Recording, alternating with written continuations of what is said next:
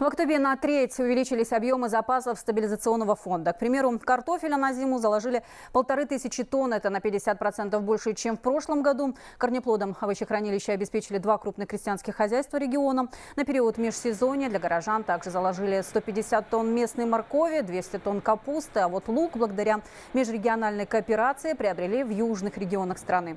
Современный склад с голландским оборудованием позволит сохранить высокое качество продуктов до самой весны. В запасниках 10 наименований основных продуктов питания. Помимо овощей там подсолнечное масло, сахар, рис и гречневая крупа.